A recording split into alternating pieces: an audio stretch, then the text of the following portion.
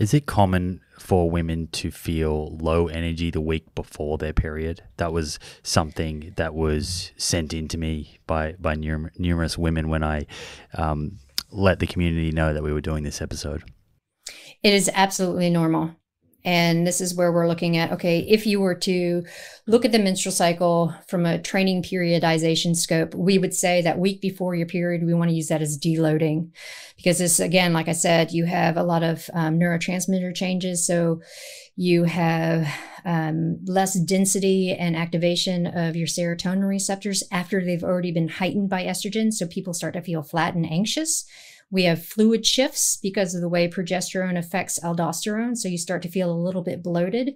Um, definitely less power because we have changes in central nervous system. Um, I mean, we have increased amount of protein oxidation, so it's harder to recover.